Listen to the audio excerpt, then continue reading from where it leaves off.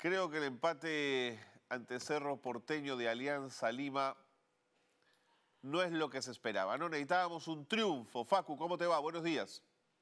¿Qué tal, Carlos? ¿Cómo estás? Un abrazo grande para todos y para todas a esta hora de la mañana. Coincido totalmente desde la primera premisa. El empate le sirve, pero poco y nada Alianza. Aún se mantiene en la última posición del grupo. El tema es que Alianza sigue sin convencer desde el juego. No convence, es un equipo muy pasivo, no solamente la marca, sino también para atacar. Hay una cuestión, que la sociedad Barcos de Santi no viene funcionando tuvo momentos esporádicos ante UTC, que es la sociedad por el pase y después la consecución del gol, pero después son jugadores que no son complementarios finalmente. No es que uno se quede, el otro ataque el espacio, no hay movimientos automatizados para que aparezca justamente el espacio donde uno de los dos puede atacar. El sector no, son jugadores que muchas veces se superponen, que van a la misma pelota, que no se encuentre esa comodidad en tramos delanteros sin dudas, lo mejor de Alianza fueron los últimos 15 minutos del partido.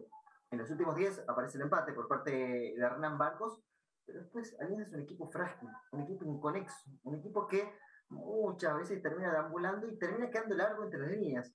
Al quedar muy largo, aparecen espacios donde, por ejemplo, ayer aprovechó el turbo Juan Manuel y Turbe para marcar el primer gol de Cerro Porteño. Ahí también es un descuido por parte de Serra, que había cambiado de posición, dejando la derecha hacia la izquierda, y le gana Iturbe.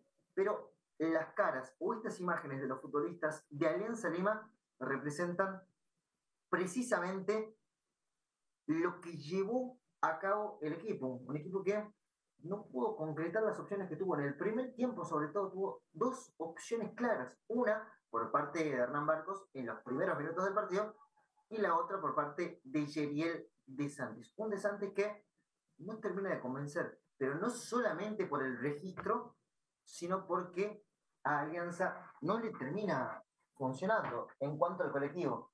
Es un delantero que hasta el momento no viene cumpliendo con lo que se espera de él. Pero vamos a ver qué es lo que pasa. Por el momento suma un punto más pero en el global es un equipo que termina dejando mucho dudas. Acá tenemos el gol finalmente, el centro por parte del uruguayo Rodríguez y el buen anticipo de Hernán Barcos. Esta fue la primera acción que ganó Alianza de cabeza en todo el segundo tiempo. Todas habían sido rechazos o ataques por parte de Cerro Porteño y esta finalmente desemboca en el gol de Hernán Barcos. Los últimos 10 minutos ya fueron una alianza totalmente diferente alianza avasallante, yendo al frente, intentando conseguir la victoria, pero esos últimos 10 minutos no determinan la globalidad de lo que fue el partido. Alianza durante el partido fue un equipo totalmente dormido y opuesto a lo que fueron los últimos 10 minutos.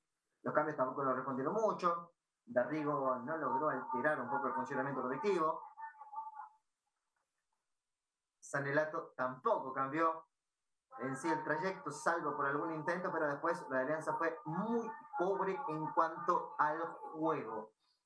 Quien tomó la palabra fue el autor del gol al final del partido y analizó el encuentro y las chances que le quedan a Alianza Lima en esta Copa Libertadores. Escuchemos la palabra del capitán, escuchemos a Hernán Barcos. Eh, fue notoria la, la actitud del grupo, la voluntad, las ganas. Eh, nos faltó un poquito de claridad, sí, pero creo que las situaciones más claras fueron nuestras eh, y el ímpetu de, querer siempre, eh, eso es lo que más nos deja bien, ¿no? pero obviamente con dolor por, no poder haber ganado. ¿Cómo sensación otra vez de que faltó algo? ¿no? Siempre...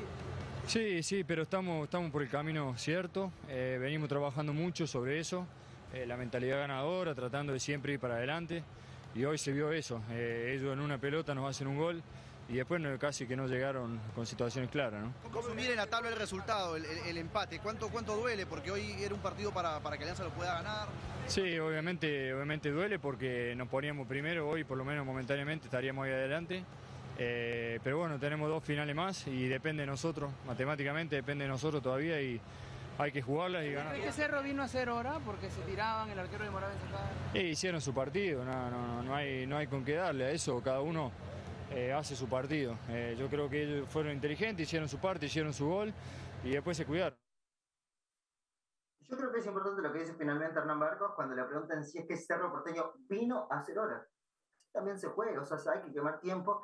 El arquero lo entendió, los defensores también entendieron momentáneamente y circunstancialmente dónde había que quemar tiempo. No solamente quemar tiempo, es bajarle las revoluciones al partido. No sé si se escuchó recién a la que vendió Papaya, pero bueno, se filtró por ahí un audio. Eh, y Alianza con este punto también le sigue costando en la Copa Libertadores de América. Escuchemos brevemente lo que dijo y el análisis también que hizo de la situación a Carlos Zambrano, uno de los baluartes que tiene Alianza en defensa y uno de los puntos más altos ayer del equipo de Mucho se nos complicó. El otro equipo vino a hacer su partido, vino a meterse atrás y buscar una pelota parada. Pero bueno, es mérito del rival también, ¿no? Y errores nuestros, ¿no? En la pelota parada.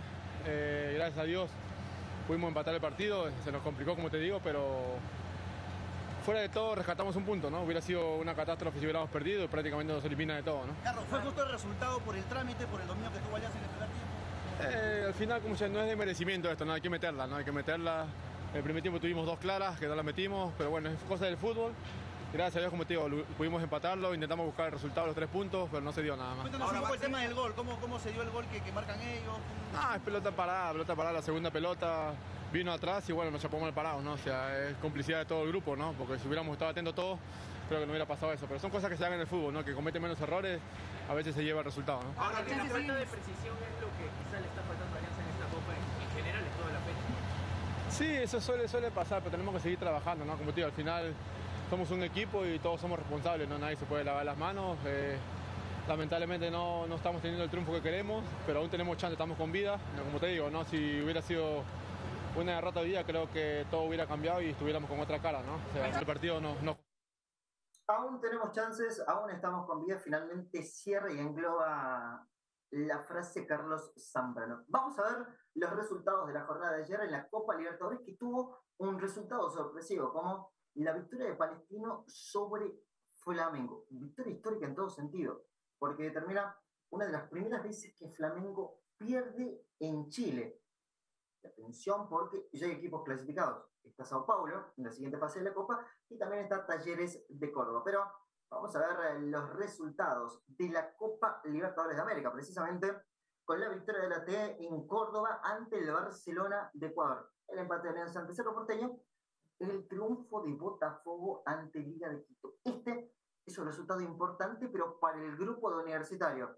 Después, el triunfo de visitante de San Pablo ante Cobresal de Chile y el empate entre Millonarios 1 a 1 ante Bolívar. ¿Por qué este triunfo de Botafogo es importante en el grupo de universitario? Vamos a ver cómo está el grupo de la U. Terminada una nueva jornada de la Copa Libertadores de América, donde Botafogo, que no había comenzado bien, porque no tenía actividad del Brasileirão, en las primeras fechas retomó justamente el liderato del grupo y eres uno de los punteros del grupo de universitario. Así está el grupo de la U, finalizada ya la cuarta fecha. Junior, al igual que Botafogo, punteros, misma cantidad de puntos con seis. Tercero, la U con cinco. Y cuarto, finalmente, Liga de Quito con cuatro unidades. Así está el grupo de universitario. Hoy a las nueve juega Deportivo Garcilaso contra Lanús por una nueva fecha de la Copa Sudamericana Recordemos que esos equipos ya se enfrentaron en la fortaleza de Lanús, victoria para el conjunto Granate, y ahora a las 9, Deportivo Garcilaso enfrenta precisamente al Granate. ¿Cómo viene la fecha de la Copa Sudamericana? Con el partido a las 5 entre el Pirata Cordobés Belgrano contra Delfín de Ecuador. Brian Reina, convocado y posiblemente titular en el Pirata. A las 7, el partido de la fecha sin dudas en la Copa Sudamericana es el Bragantino de Brasil ante Racing de Avellaneda, el equipo de Gustavo Costas, el ex DT del Alianza. A las 9 dos partidos, finalmente la Católica de Ecuador ante la Calera de Chile y cierran la jornada de jueves de la Copa Sudamericana Deportivo Garcilaso ante Lanús. Esa es la fecha de la Copa Sudamericana. Y lo último, brevemente, hay un equipo que tiene una la Champions League, es el Real Madrid. Equipo histórico en todo sentido.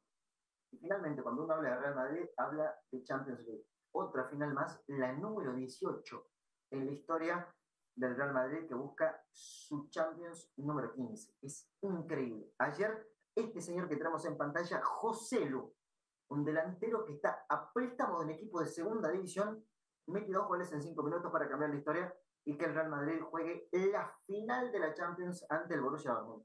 Lo del Madrid es increíble. Ya roza el misticismo y ya roza cualquier tipo de barrera literaria que se le quiera poner. Siempre aparece la heroica y siempre está el Real Madrid en alguna final de competición europea. Tremendo lo de los merengues. Es un equipo de otra, de otra galaxia, de otro planeta, Facu. Eh, ¿Te pareció bien anulado el gol al Bayern? Conceptualmente sí me parece bien anulado. Lo que me parece que está mal es el tema de que el, de que el línea levanta antes de que finalice la jugada. Hoy con el delay de banderas se espera precisamente a que finalice la jugada para que el árbitro Claro. tome en consideración. De lo contrario van al bar, pero ahí anula cualquier tipo de acción. Ahí sí me parece que, que la Sí. No está bien ejecutada. De acuerdo. Facu, gracias como siempre por la información deportiva. Un abrazo. Dale, abrazo Carlos, nos vemos.